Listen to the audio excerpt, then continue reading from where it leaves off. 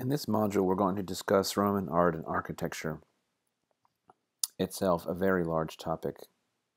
Thus, this lecture will be divided into two portions. Part 1 will address key themes in Roman architecture, and Part 2 will discuss Roman art.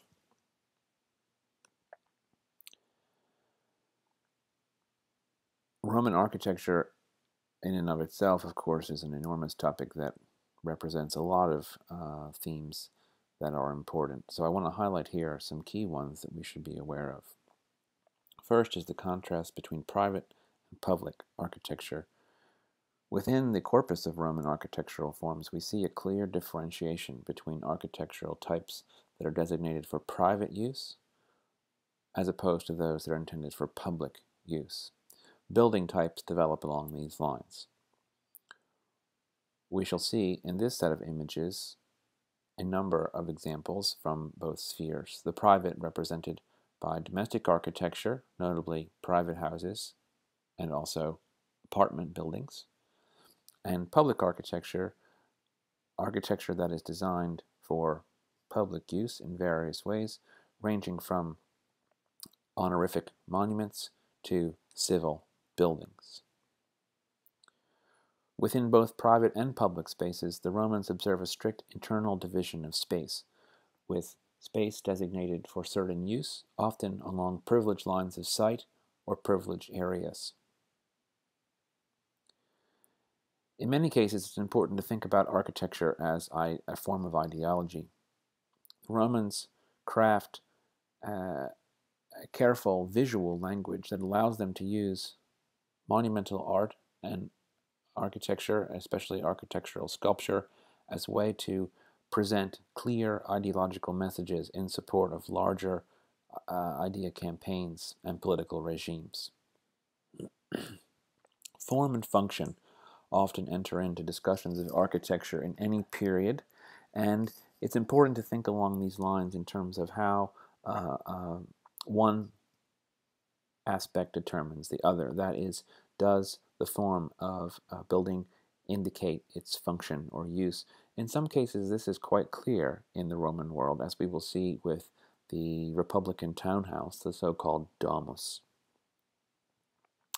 An important historical figure and writer to be aware of when thinking about Roman architecture is the writer Marcus Vitruvius Pollio, often just referred to now as Vitruvius, who lived from around 80 BC until sometime after 15 BC, Vitruvius, an engineer uh, uh, principally in his training, is known mostly for writing a 10 book treatise on architecture, the De Architectura, in the first century BC, in which he presents not only important technical details about Roman architecture, but many important concepts, the philosophy of Roman building and Roman architecture as well. And Vitruvius uh, is not only a source for us, but was an important inspiration in the European Renaissance. As you can see, the drawing uh, at the right uh, uh by Leonardo da Vinci, so-called Vitruvian Man. Da Vinci made a careful study of Vitruvius's text himself. Let's start by talking about the first category, private architecture, domestic architecture. We can see a breakdown in terms of types of domestic buildings, really three categories. So let's go through them. The first, the domus, domus in Latin meaning house. Uh, this is a townhouse. Many of these are of the so-called atrium type in the Republican and early imperial periods, and um, later Roman houses will develop in such a way that they mostly lose the atrium later on. The villa, a house that is explicitly not in the city, thus found in the countryside or at the seashore can mean a productive house, a farmhouse, or a house associated uh, with, with industry. Can also mean a luxury retreat for elite persons uh, looking to get out of the city. Insula, the Latin word for island, also used here to indicate a multi-story apartment building in Roman cities, and we will see an example. The social history of the Roman house in and of itself is very important, which brings us back to the form and function uh, uh, concept. The patron-client system, as we have read, is operative in the Republican and Imperial, early Imperial periods, whereby patrons provide political, financial, and social support for their clients. The house becomes the center of the patron client system as it is in the atrium of the domus that the patron would receive his clientage. In the world of the family, the private aspect of the house, the house is the center of the familia, the family, and the area where the head of family, the pater familias, exercises his patria potestas. The familia, of course, includes not just the biological family, but the extended family group that also includes any slaves owned by the household. Here, a generic diagram of the domus, the atrium type house. Now, I should point out that even though this is a standard generic plan, no two domus look the same. There's a lot of variation, but this gives us a general idea of the key parts. You will notice an elongated ground plan with two uh, uh, uh, main internal divisions, as we will see, entry from the street through a narrow doorway into the so-called atrium, there at number 5 on this diagram, and in the back of the building, the area centered around the peristyle, number 14 on this drawing. The domus is internally divided into two parts, the pars urbana and the pars rustica. Pars urbana, large number 1, pars uh, rustica, large number 2. Pars urbana, meaning the sophisticated or urbane part of the house. Pars rustica, the rustic part of the house. You will notice on the generic diagram that there is a strong visual axis moving through those two parts, starting from the doorway at the street, continuing through the atrium, all the way through the peristyle, through the dining room at number 9 there. We see three main rooms that we should be aware of the atrium, the center of the pars urbana, the main reception hall of the house, where the pater familias would receive his clients, the tablinum, the office or study of the pater familias, and the peristyle, a sort of garden courtyard that is the center of the private part of the house, onto which the dining room, number nine, and other service rooms like the kitchen communicate. So we see strict division. Clients only make it as far as the atrium. Friends, family members make it all the way through the house to the peristyle. The Roman townhouse uh, utilizes an unusual uh, uh, uh, uh arrangement for uh, admitting light and air into the house, in that the atrium has an opening in the roof, most often. that's called the compluvium and a corresponding pool to capture any rainwater, the impluvium. Uh, otherwise, this room would be very dark as it does not have any windows. Um, the impluvium compluvium arrangement allows for light and air, and you get the added benefit of this water collected in a tank underneath the impluvium for household use. No two domus are alike. An example of a famous house at Pompeii, the city destroyed by Mount Vesuvius in AD 79, is the house of the Vettii. You can see on here a sort of a, a, a messy ground plan compared to our generic drawing with two atria, two atriums, a large peristyle, dining rooms communicating onto there. Um, so a lot of variation in these ground plans. Pompeii provides great evidence, of course, owing to its um, catastrophic destruction for domestic architecture and is a primary source for uh, our information about domestic architecture in the Roman world. Oftentimes, uh, domestic spaces are brilliantly decorated.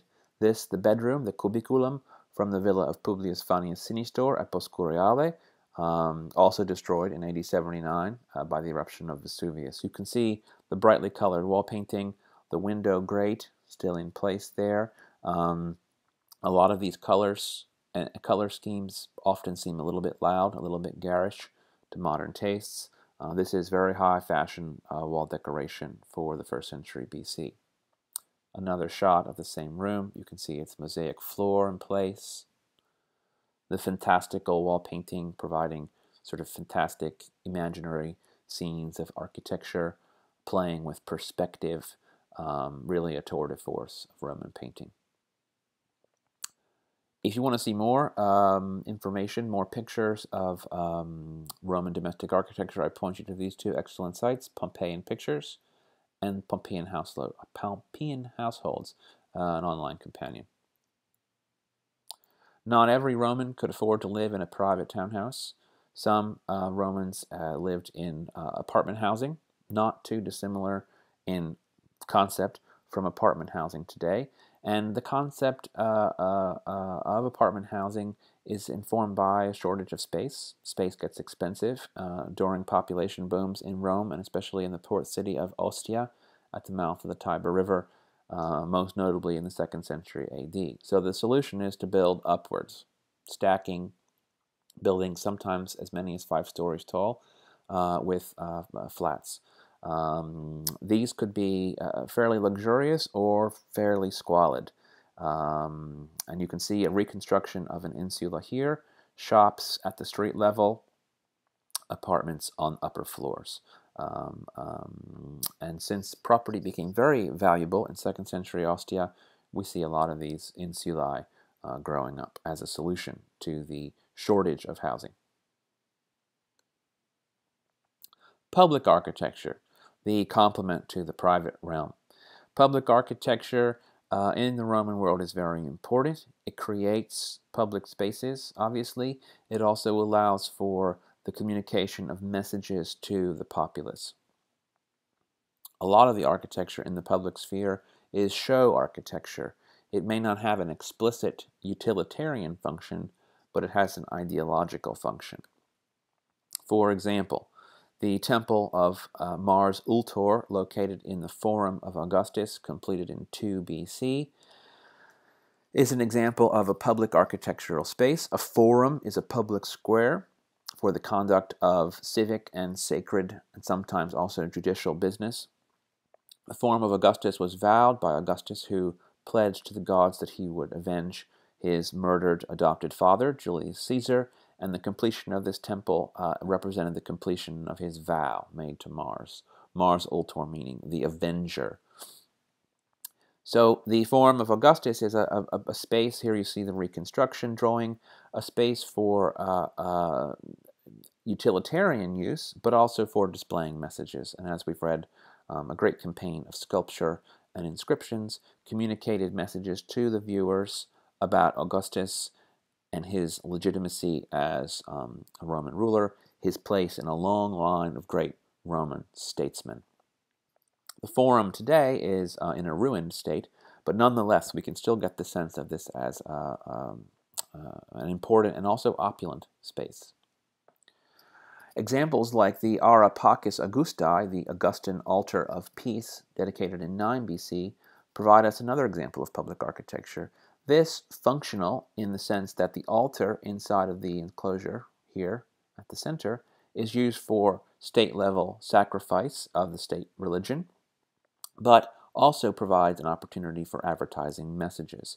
The Ara Pacis is decorated on its exterior with relief sculpture, as you can see, and this relief sculpture tells more stories, completely in pictorial form, of Augustus and his family, why they are legitimate leaders and how they have restored peace to the Roman state. And you see Romans here, members of the uh, household of Augustus, set to participate in a um, religious ritual. Mythological scenes accompany these scenes of procession. Here, um, a scene showing us the abundance, the fertility of the land, um, uh, another circumstance that Augustus has guaranteed by returning peace to the Roman Empire. Another important civic architecture form, public architecture form, is the basilica, a building more or less innovated by the Romans. You see a later example here of the early 4th century, uh, known sometimes called the Basilica of Constantine. Um, the basilica is a multi-purpose space that can be used for mercantile functions as well as for the meeting of law courts. The Basilica of Constantine here um, adds the semicircular space at the end of the nave, known as the apse. Um, this standard Roman civic basilica form comes to be adopted by the Christian church as they are searching for uh, a form that their houses of worship might take, and sticks around in large part in architecture still today uh, as a result of that adoption by um, early Christians. You see the cutaway reconstruction of the Basilica of Constantine with its large, high ceiling central nave, the apse at one end, uh, creating a, a, a, a, large open hall with a very high ceiling. You see the remains of the basilica as it stands um, today. The ceiling would have stood originally about 39 meters above the ground, and uh, uh, uh, the nave measuring something like 80 by 25 meters, a very enormous cavernous space. Functional, but also uh, inspiring awe. Honorific monuments also are an important part of Roman public architecture, none more iconic than the triumphal arch. Um, there's no explicit use for an arch. It's simply a, an architectural placard, an advertisement for the accomplishments of one or more um, Roman leaders. The arch uh, develops in the Republican period, second and first centuries BC, and continues in use throughout Roman antiquity. Here, the Arch of Constantine, uh, built between 312 and 315 AD, uh, advertises the, uh, the triumph of Constantine. Constantine, who actually fought other Romans to uh, take one man control of the Roman Empire. And in doing this, he adopts, um, reuses actually, sculpture of three previous emperors, Trajan, Hadrian, and Marcus Aurelius, creates new sculptures of his own to create a monument that sort of synchronizes uh, his own uh, uh rule with those of other much loved emperors of the past. And sculpture, just like the Ara Pacis, sculpture tells the story. The sculpture on the superstructure tells you visually all you need to know about Constantine that he's been victorious, that he is a just, uh, legitimate, and generous ruler. And although there are written textual inscriptions, the most important messages are told without the use of words. You see here in the attic, the upper part of the arch, some of the reused sculptures. Um, here, the standing statues are captive Dacian prisoners taken from a monument of the Emperor Trajan, and the panel reliefs in the center here from a lost monument of Marcus Aurelius. Both of these showing um, the emperor, emperor here, and emperor here, greeted by his uh, loyal soldiers. One of the original Constantinian uh, uh, portions of the arch is this narrow relief here, which is a scene that we call the oratio, the address, whereby Constantine, who's now headless, here he is in the center, his head has not survived, is shown in the Roman Forum, standing on the speaker's platform, flanked by seated statues of Hadrian and Marcus Aurelius. And all the crowd looks on watching Constantine, the military standards stand behind him. Uh, we see him as a legitimate ruler here giving a speech in, in the Roman Forum. So this monument, the Arch of Constantine, really serves simply to advertise a message more so than it does to do anything else. But message making by way of architecture is an important part of uh, the conceptualization of Roman architecture, why it exists to begin with. Um, and we will see more to do with message making and, and art when we uh, proceed to part two of this, uh, uh, of this module and talk about Roman art uh, uh, in a little bit more detail.